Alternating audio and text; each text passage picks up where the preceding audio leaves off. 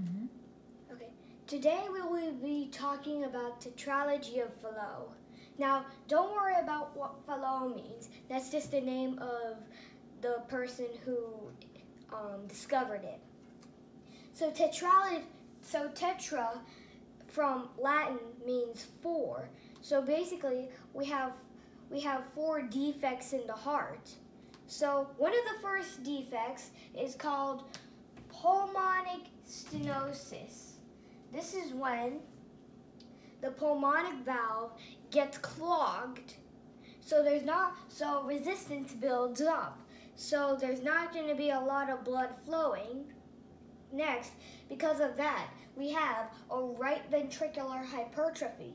Now, I drew it really severe, but it could actually be something like this.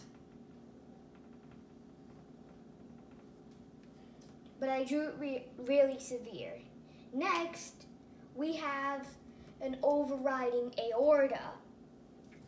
This basically means that the aorta is larger than usual.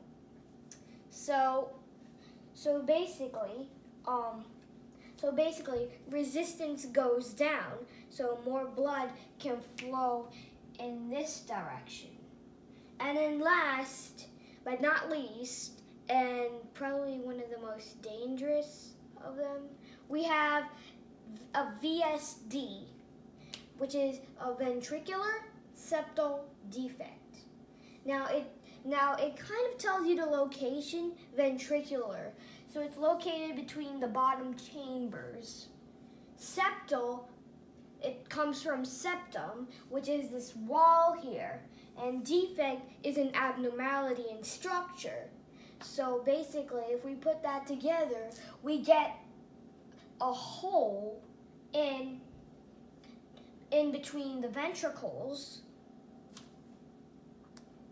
So, um, just one thing, if we have a right ventricular hypertrophy as our only abnormality, it can actually cause heart failure because there's there's a decreased amount of blood going out to the lungs being oxygenated.